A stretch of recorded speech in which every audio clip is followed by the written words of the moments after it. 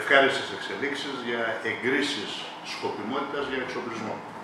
Παραδείγματος χάρη, ε, έχουμε μια έγκριση σκοπιμότητας από τον αναπληρωτή Υπουργό Υγείας για 187.000 ευρώ, με το οποίο θα προμηθευτούμε διάφορα είδη εξοπλισμού, τα κυριότερα των οποίων είναι ε, η Φυγόκεντρος και ο Χλίβανος, τα οποία είναι δύο ε, μηχανήματα τα οποία είναι πεπαλαιωμένα και έχουμε πρόβλημα και ε, μας έδωσαν αυτή την έγκριση, οπότε στην πορεία θα ακολουθήσει η διαδικασία για να τα προμηθευτούμε.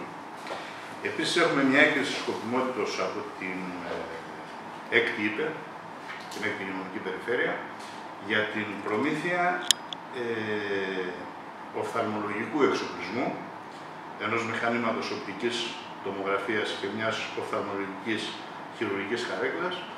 Ε, έχουμε την έγκριση σκοπιμότητας από μια χρηματοδότηση την οποία μας έχει ε, εχωρίσει η Περιφέρεια Περοπονής, ο κ. Σταντούλης.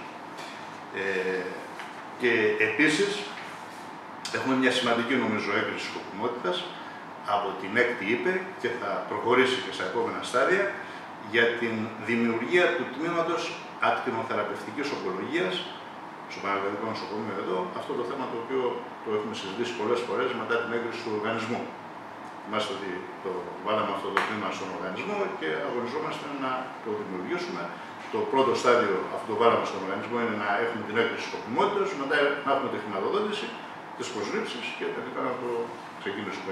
Αυτά τα, τα θέματα δεν γίνονται με την μία, θέλουμε μια συνεχή προσπάθεια. Θέλω να σας πω λίγα λόγια για τις προσλήψεις.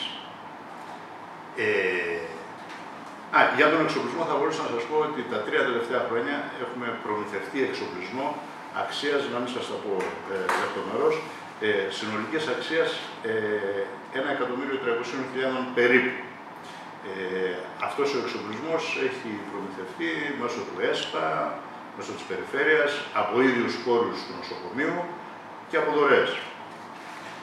Ε, να πάμε τώρα στο προσωπικό και να πούμε ότι το, το 2018 ήδη έχουν ολοκληρωθεί 14 προσλήψεις μονίμου προσωπικού και τρεις επικουρικοί, γιατροί. Ε, μεταξύ των οποίων είναι και ο βασιλετρολόγος που είχαμε πει για την προηγούμενη φορά. Το μόνιμο ιατρικό προσωπικό που έχουμε προσλάβει ήδη το 2018 είναι με ευτικής γυναικολογίας, ογκολογίας, ακτινοδιαγνωστικής και αναισθησιολογίας. Ε, για το 2018, δηλαδή για την επόμενη περίοδο, έχουν δρομολογηθεί, έχουν εγκριθεί δηλαδή και βρίσκονται στη διαδικασία της αξιολόγησης ε, 25 προσλήψεις μονίμου προσωπικού, τα οποία είναι σε εξέλιξη. Ε, έχουν, έχουμε ζητήσει και μας έχουν εγκριθεί και δύο ακόμα θέσεις γιατρών ενός ανασιολόγου, ενός ανασιολόγου και ενός καρδιολόγου. Αυτά είναι σήμερα στους 25. Και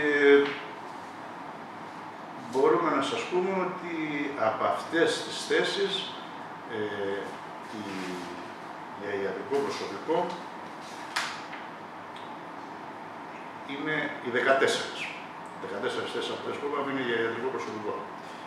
Ε, επίσης, για να αντιμετωπίσουμε το προσωπικό πρόβλημα το οποίο έχει πάρει μεγάλη δημοσιότητα της έλλειψης των ανασιολόγων, το οποίο, όπως σας είπα και την άλλη φορά, ήταν ένα τυχαίο γεγονός. Είχαμε τέσσερις ανασιολόγους, οι δύο νοσηλεύονται, η, η τρίτη διορίστηκε αλλού, οπότε παρατήθηκε, έλεγε και το επικουρικό της.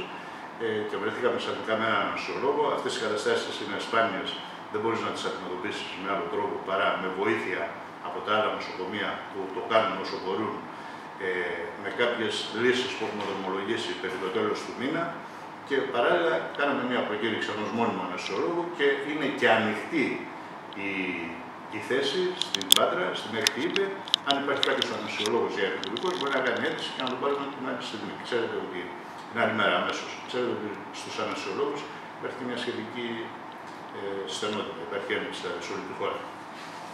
Λοιπόν, και προφανώς έχουμε ζητήσει από την έκτη είπε και από, και από όλα τα νοσοκομεία της χώρας να μας ενισχύσουν σε αυτές τις ειδικότητες που έχουμε το πρόβλημα.